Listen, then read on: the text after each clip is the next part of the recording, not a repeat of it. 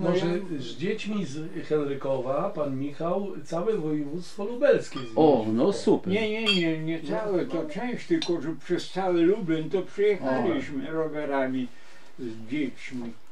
Dzieci to były od klasy piątej do ósmej. A który to był rok?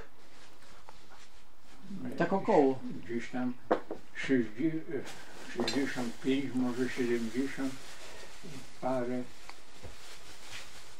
Ale tego po raz pierwszy w województwie suwalskim zobaczyliśmy świnie na, Hodowli.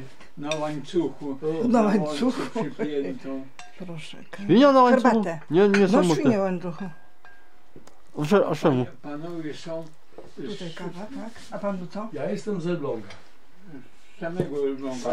Herbatkę czy kawę? Przez, przez Elbląg Herbatę rowerami przyjechaliśmy, a Elbląg takie rozwlekłe, Marek, tobie herbatę? że nie, Nie chcesz? To em, tutaj tam było bardzo trudno, ale jakiś policjant, policja, bus Pokierował. policyjny mm, zorientował się, że to są dzieci, co Nie na łańcuchu. wyjechał Zapraszamy na tutaj.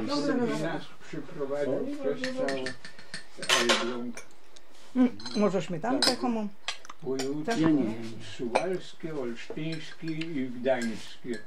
To te trzy województwa tutaj też miały właśnie możliwość rowerami przyjechać.